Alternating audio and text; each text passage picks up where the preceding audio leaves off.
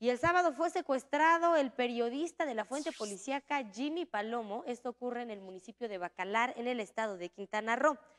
Él junto con otras dos personas regresaban de una cabalgata cuando fueron levantados por sujetos armados. Su auto quedó abandonado en el tramo de Río Verde Alemán.